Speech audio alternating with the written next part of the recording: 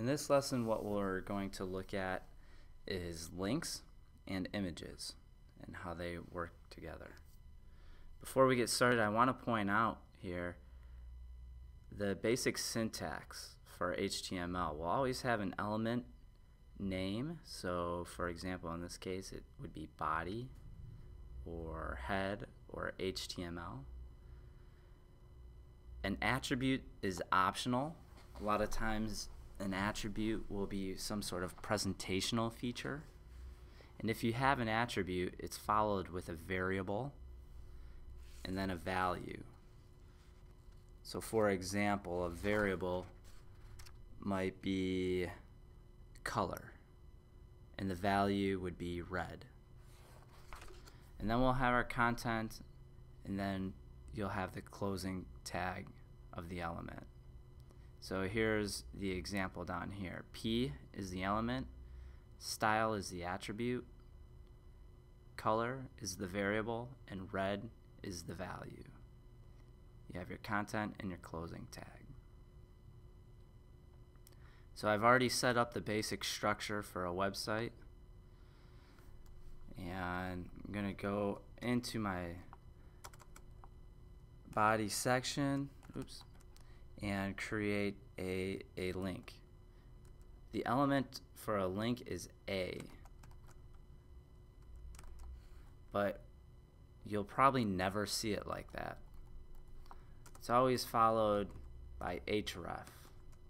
And if you want to think of that as um, reference, you can. So where is that pointing to?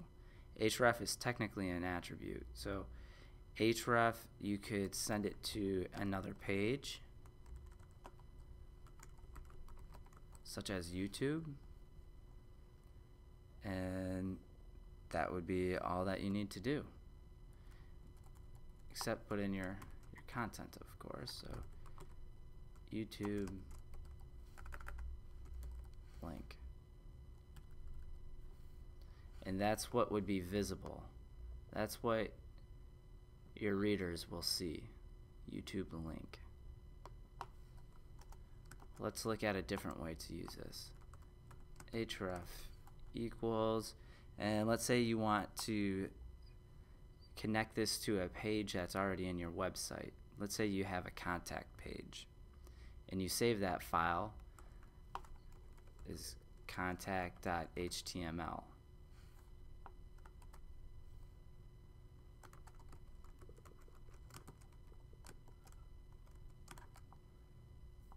That's how you would save that. You just put the file name and extension in there. So this works with images too. And you have to set, tell it where to look. So we're going to tell it to look in the images folder. And if I have an image called cats.html,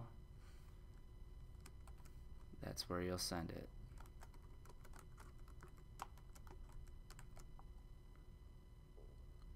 So there's a couple different ways that you can use this.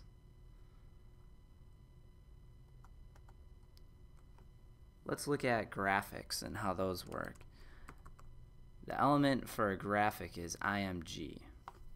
A graphic is a single-sided tag, so we won't have a, uh, a closing tag like we do in the link. We're just going to have img and then source so src and we have to tell it where to find it which is going to be inside of the images folder again. Cats.html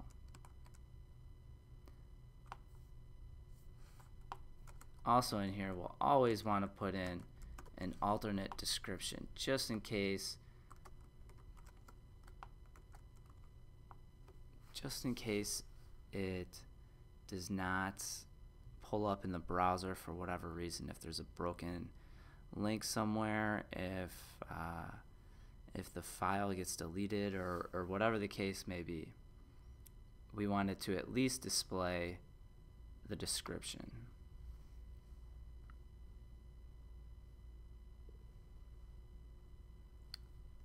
And that's about it for for images And for oh, you know what? Before before I close, let's cover the width. You can set the width and height of an image to a very specific size. Now if you set them both, it could skew your image. So unless you have to, generally I only set one or the other. So I might set the width as 100 pixels and then the rest of it will fall in line and it will stay proportional. Okay, and that's it for links and images.